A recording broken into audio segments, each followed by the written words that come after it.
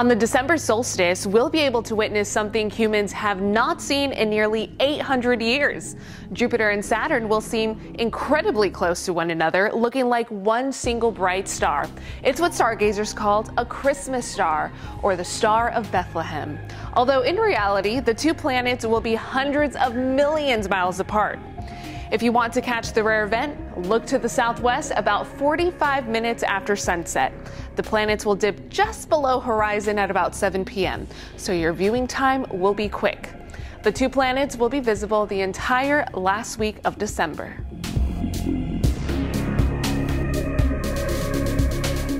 No, I'm not making a claim that at the very instant of this conjunction, the bright light will break through and all our problems are solved. I think we're in a little bit longer term process than that. My personal belief is that we've got 5,000 years of toxic patriarchy and dominator culture to clear.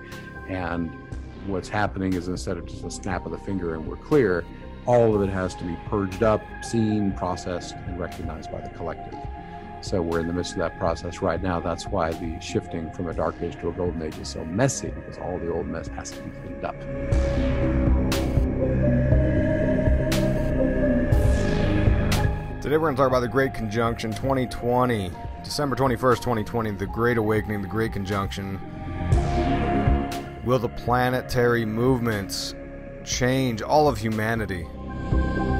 We'll take a look at the astrological ideas of the age of Aquarius, Saturn, Jupiter, the Christmas star, solstice, Saturnalia, 2001 Space Odyssey. We'll take a revisit to 2012 and the big hoax to find out is this just another one of these uh, new age psychobabble nonsenses.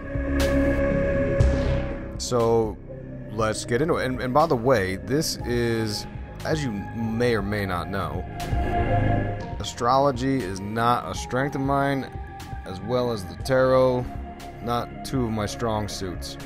I know just enough to be dangerous, so I might, uh, and I, I, I try to hurry up and get this out to you guys, because as you know, I'm actually working on the Great Reset series, because that to me is the most important thing happening.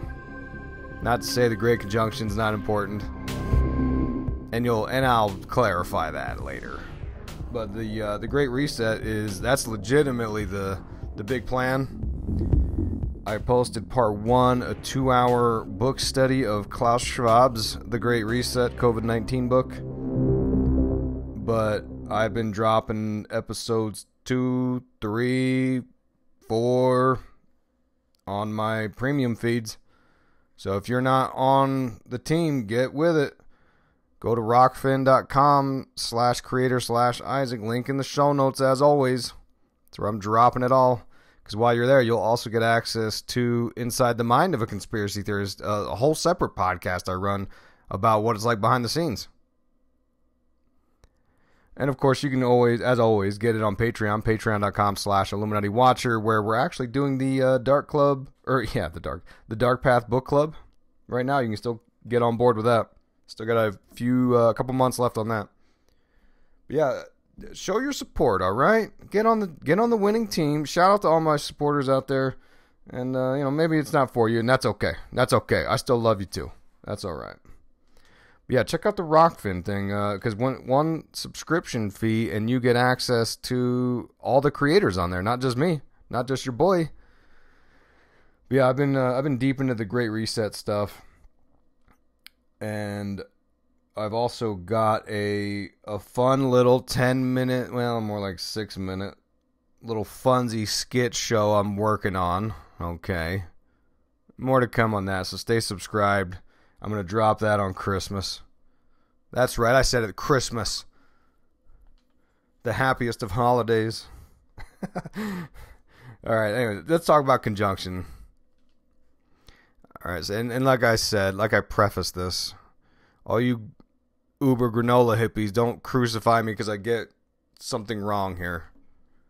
Um, what the origin of this show? What is this from? Well, I've had many, many people reach out to me, uh, particularly the one that finally tipped the scales to me, saying, "All right, fine, I'll look into it." Was uh, Mariah on Patreon?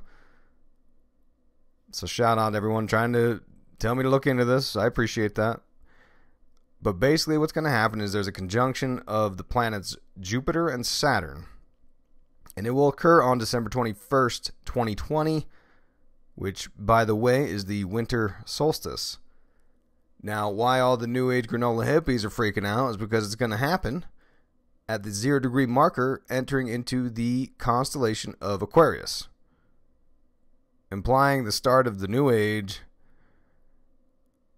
and then uh, your uh, your media outlets are saying, well, you know, these planets are going to be the closest they could possibly be. This happens every so often, and it's going to look like one big star. They call it the Star of Bethlehem. That's the short version of it, and we're going to get into all the details, all the occult symbolism behind all this. Now, I went to I went to many sources, two primary sources though, if you wanted to dig into some of the ideas. Bustle.com, they had an article on the Great Conjunction and Aquarius affecting the zodiac signs. And then uh, Duncan Trussell, who had the Midnight Gospel Netflix series, which I still owe you a show on. I've got all the notes, I got the clips, I just got to do it. Needless to say, 2020 has been insane. But Duncan Trussell has a podcast. He interviewed a uh, a guy named Conner Habib, who's saying you know, he's espousing this idea that you'll find in circles of people talking about this about there's this whole idea of a massive shift in consciousness, an awakening, a great awakening, as it were. Conner Habib's a porn star. Not to say there's anything wrong with that. But he also says eating food is poison too, so, you know, there's that. so, and some of the stuff he says I like, you know, I tried listening to the whole thing and I'm like, I don't know about this guy. Some of the stuff he says I like, but I have a hard time with some of these people that go so granola, so woke, reading the stars, because they, to me, they're too vague and too non-committal, and you can't disprove them ever. It's just not possible. It's like it's like arguing politics with people. Okay and we do overcome it to some extent. And we also overcome like the wi-fi signals 5g all that kind of shit that is coming. But it becomes more and more difficult to take all of that in. And so we're going to have to do training which is mostly spiritual training to generate the forces within us that can overcome the things that enter okay. into us. Yeah. And we can do that with almost anything by the way. But it it takes because we're the favored we're the we're the favored things on this planet. I mean, we're we're the addresses of the consciousness of God here. So we've got to go into a kind of uh, but we've got to go into a kind of training to make that happen. What does that training um, look like? Hmm. Well, huh. huh. It's different for everybody. But anyway, those are two good sources I found but I dig I dug into my archives of occult symbolism and stuff. But let's talk about it. What what are we talking about here? We're talking about the movement of the age of Aquarius, right? It's the age of connective global consciousness. I talked about this in Sacrifice Magic Behind the Mic. Your boy uh, Mr. Gates, previous guest on the show, he talked about this on Haterazzi, the Jupiter, right? Remember that? But basically, like I said before, Saturn and Jupiter, they're going to align on the solstice and look like a, a, double planet, a double rainbow. Remember that? Remember we made fun of the guy for uh, the viral video about the double rainbow? Simpler times. But now Saturn, it's going to enter this spot in the sky in the cosmos of the zodiac called the sign of Aquarius on December 17th then Jupiter catches up on December 19th, and they will uh, both meet on December 21st at the zero degree marker of Aquarius. Now, if you look around online, because like I said, I'm a novice with this astrology stuff, I've also read people say they're leaving uh, Sagittarius and entering Capricorn. I don't know, but the consensus seemed to be they're entering Aquarius. And uh, that they're leaving Capricorn which is associated with the devil and the tarot system, which will play a role. We'll get into that. Now, what's up with these planets? Saturn and Jupiter are the two largest planets in our solar system, and they get close every 20 years. But to do a full conjunction, to join together as seen from Earth, when they match the same longitude, is very rare. The last time this happened was March 4th, 1226. Long time ago. Almost 800 years ago. So, me being curious, I thought, well, what happened last time this happened? I I went to uh, the Wikipedia page for March 4th, 1226. Nothing. Doesn't really, I mean, stuff happened, but like nothing out of the ordinary that sh- stood out to me. But you know these uh these woo woo mega granola types, they're they're sure this thing is going to be a game changer. It'll be a cryptic game changer, I believe. They say, oh, it's a shifted consciousness. Something that's completely unmeasurable, by the way. But don't worry. The uh, the altering of everyone's consciousness in the year of 2020 with a global pandemic that literally changed everyone's lives, billions of people's lives, and the fundamental structure of how every single human being goes about their day will have nothing to do with this. It's all going to be because so two planets a bazillion miles away are getting close to each other. That's what's going to be shifting consciousness. Two planets so, so far away that you need an app to figure out where they are in the sky they're almost touching tips, and that's going to change everything as we know it. Okay. All right. as you can tell, I'm skeptical of this stuff. Now, they're calling it the Christmas star in the mainstream media. A war on Christmas? Yes, I think so. They're suggesting that this is the final ushering of the new age. This is the climactic ending of bringing about the new age from the Aeon of Pisces to the Aeon of Aquarius, which, as you know, the Aeon of Pisces is associated with the fish, which is symbolic of Jesus Christ, who made fishers of men. He evolved mankind. Well, now it's time to move on to the age of connected global consciousness, the age of Aquarius.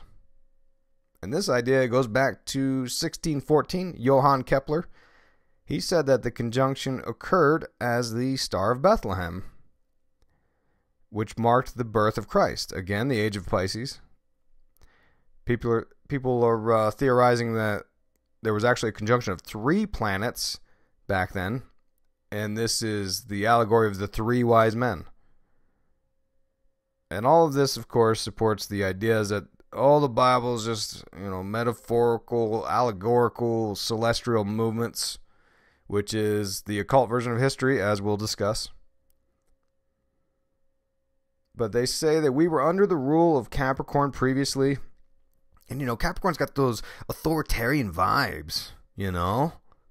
But Aquarius, that we're not going to have that anymore. We're going to have the global connective consciousness and humanitarian causes, and it'll be great. Now, could it be?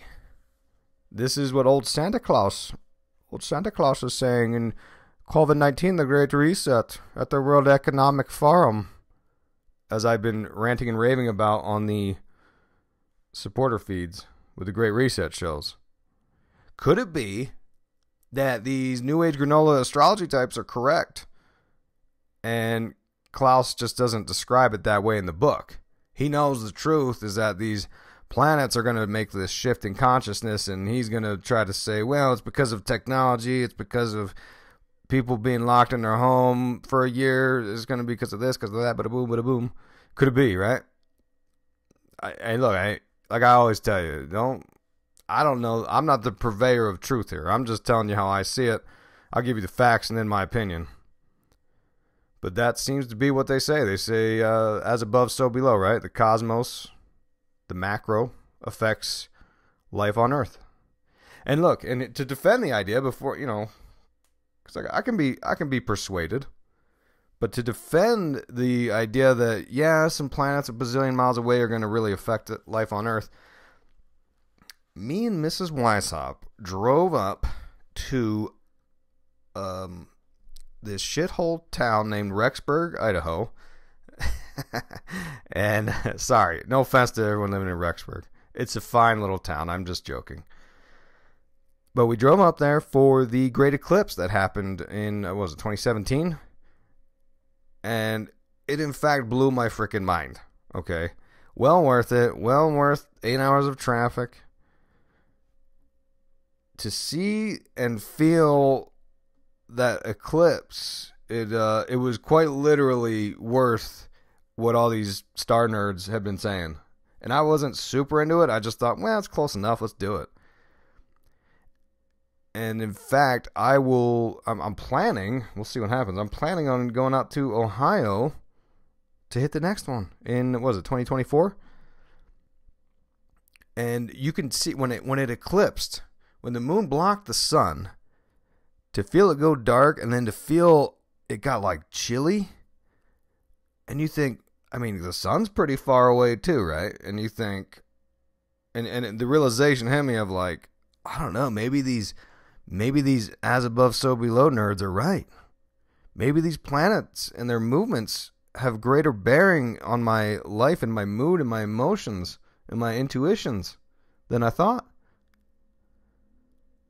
But like I said, I'm not very well versed in astrology. So the jury's out, basically, for me. For me. Just for me. Now, the solstice. This is December 21st, an important day an important day for the occult. So, like, your year is marked out with two equinoxes and two solstices, right? Equinoxes are equal parts day and night. Solstice are the other way around, shortest and longest day. Where the winter solstice, that is your shortest uh, hours of light of the year. Because on this day, the, well, and we'll get into that here but when you look at the occult version of history, like your zeitgeist stuff you saw on the Netflix or whatever, they think that, well, this is the real story. This is the mystery religion story of Christ. Jesus Christ wasn't real. And they believe, they point to the movement of the sun because the sun, like Christ, goes down to the weakest point and dies for three days and the sun and the sun uh, its movement in the skies. It goes down and is resurrected at the southern cross three days after december 21st i know it's it's kind of a longer story but recall that on a lot of our shows we talked about the mystery religion. They believe osiris is the real god the sun s-u-n and of course it ties into Lucifer. turns out Osiris is really Lucifer. That's a you know according to Bill Cooper and some other OGs. But the idea is that the sun, S U N, enters each sign of the zodiac at 30 degree intervals, right? Because the zodiac is, you got to picture it as a circle, 360 degrees, and they chop it up into 12 equal sections, 12 slices of the pie with 30 degree intervals called houses and they say, well, you know, Christ started his ministry at age 30. That's symbolic of the 30 degrees. And the sun travels, they, they say, well, the sun travels about one degree a day and, and processes through the, uh, the full zodiac. 365 days, 360 degrees, close enough. And the mystery religion believes that Christ was the actual Son, S U N, the Son of God, that moved 30 degrees or 30 years through Capricorn and entered the house of Aquarius at the age of 30, 30 degrees, when he started his ministry, which is why John the Baptist baptized him with water, because John the Baptist is symbolic of the Aquarian water carrier. Christ, the age of Pisces, is here to bring about the Aquarius, the age of Aquarius, the water carrier and the beginning of winter, which occurs on December 21st with the solstice. This is the point where the sun is as far south from the equator as it possibly could be. And to all these old dumb people, they thought they thought the sun was going to die. They were worried because you know the sun was tied to the crops, which was tied to life. That was it back then. That was all they worried about was trying to feed themselves to make it through the winter. So the sun, they were worried. They would watch and track because they didn't have iPhones back then, right? They didn't have uh, Netflix, so they just watched stars, and they watched the the sun move, and they were like, "Damn, there it goes," and it died. It stayed there from the appearance on Earth. It looked like it went as far away as it possibly could. It's freezing ass cold outside. They're making uh, they're making snowmen with sand out there in the Mesopotamia and the sun's down at the very bottom. It's dying. Three days for three days they they watched and they waited and they thought, damn, that's it. It's gone. And then boom, it's back. It's like uh, Leo DiCaprio in uh, Wolf of Wall Street. I'm not leaving. But the sun would start making its ascent back towards the equator, bringing longer days, warmer weather, the crops, the life, etc. So the cultures they would all celebrate such a thing, and this is where you get the Saturnalia stuff. This is where you get the cult of Mithras in Rome. Uh, you ask, what is the cult of Mithras, Isaac? Well, lucky for you, I've got three hours of shows on Raised by Wolves, the HBO series, which is all about the cult of Mithras, the Roman secret society, the secret religion, because that's tied into all this. So we're not going to dig through that again, because there's, like I said, Lots of information on those shows. So, thus, on December 23rd, the Romans they would cele- celebrate Saturnalia, and this is, of course, the worship of Saturn, known as Kronos, aka the opposer, aka Satan, because Saturn was the planet that was it was the sixth planet at the time. It was the outermost planet. They didn't realize we had a couple others. No offense to Pluto, which apparently isn't a planet anymore. We only had eight planets. But they only had six back then, and this was where uh, the sixth planet was 666, right? It was the adversarial planet. It symbolized measurements, constraints, time and measurements. That's why he's Father Time. That's where you get your Chronos stuff from. Because in the occult history of the world, Saturn needed to be the opposition force to condensed matter from the spirit world. So the spiritual had to be condensed into the material world. And now we need to go the other way. Which, again, if you're listening to the Great Reset series, I believe it's part two, Old Santa Claus, he talks about this. The fourth industrial revolution is going backwards because we went from taking the material world and basically spiritualizing it when we took compact discs and made them MP3s, right? We went from physical mediums to digital mediums, material to spiritual.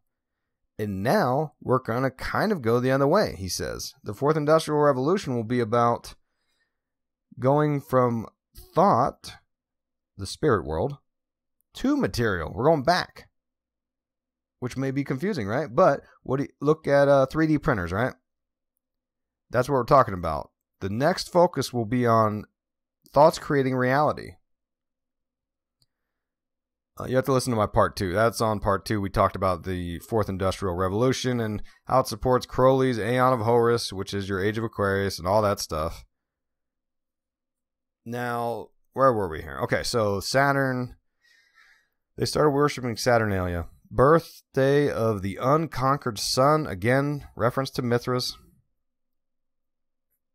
the Romans, they, of course, at some point there, right, they conflated the birth of Jesus Christ into this celebration because they needed to get the Roman people on board with it because the Roman people were worshiping a whole wide, um, widespread of uh, deities and their pantheon of gods. You kind of got to pick and choose which one you wanted. And then, then, then here comes the uh, the Roman Con- was it uh, Constantine's like, hey, wait a minute, we're doing one God and one God only, Jesus Christ and they didn't like that. So to ease the transition, they conflated some of the holidays. So Saturnalia became the birth of Christ, which was ironic because Saturnalia had debauchery of all kinds. You had the gambling, and they were they were feasting, gluttonous feasting, having orgies, drinking the booze They'd even do a role reversal where the slaves were served the feasts by the masters. And this is why you have to do that at those awkward office Christmas parties while your boss has to serve you the food. At least we don't have to deal with those this year, right? Got to make uh, lemonade out of these lemons, right? You don't got to see those losers for Christmas parties anymore. At least not this year. Now, Saturnalia, unless you're uh, what Dave Ramsey, Dave Ramsey's out there gazelle focused, but he's uh, he's having a big holiday party. They don't care. Now, Saturnalia, this marked the return of power to the sun as it made its journey back up into the sky towards warmer weather. And again, it has to do with the god Saturn, the agricultural Kronos deity, bring the crops back to life. And this goes back even further. They think that Saturn was a deity that reigned during the Golden Age. If you listen to some theorist, uh, was it David Talbot? I don't know. I wrote about this many, many years ago. I believe it was in my first book, A Grand Unified Conspiracy Theory, which I don't know if you know this. You can get it for free. Link in the show notes. All you gotta do is go to illuminatiwatcher.com slash start. Sign up for that email list that I manage and I do not sell. You'll get a free copy of that book.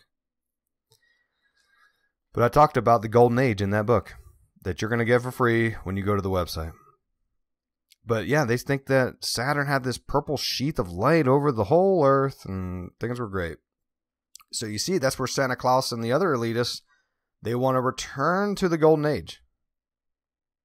Cuz for them, it sure is a good time. For you, not so much.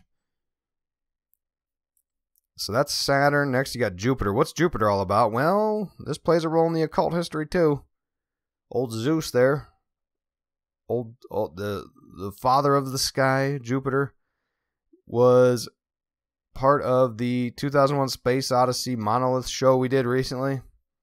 And I'll I'll give you the brief recap because as you know in the story 2001 A Space Odyssey, they find the monolith and it evolves the apes into uh, mankind through the alien intelligence. Because the Arthur C. Clarke who wrote the book actually had the the great monolith that evolved man through David Bowman out at Saturn, but in the film version it's Jupiter because Kubrick said he couldn't recreate the rings. There's theories that otherwise, but anyway, the this is the um this is the same. Okay, so the monolith has the perfected dimensions, right? But it aids in evolution. The the astronauts go out that way.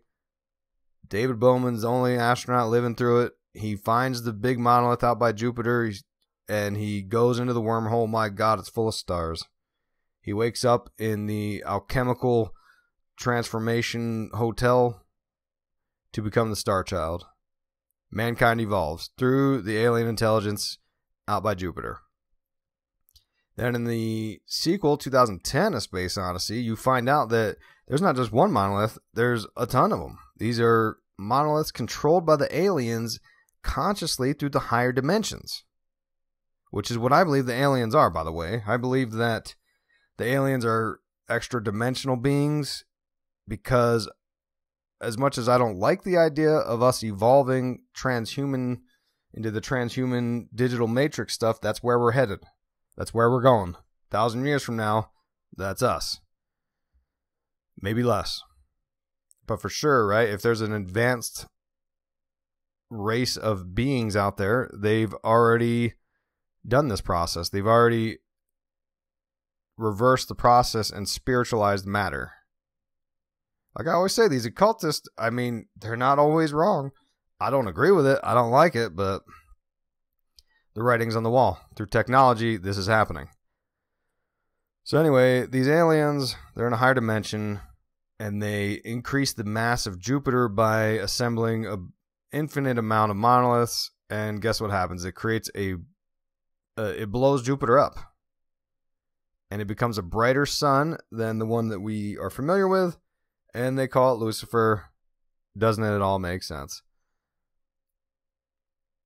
Now, in reality, there is a project NASA's uh, run called Galileo back in the day that orbited Jupiter. It confirmed there's an ocean of liquid water. There's been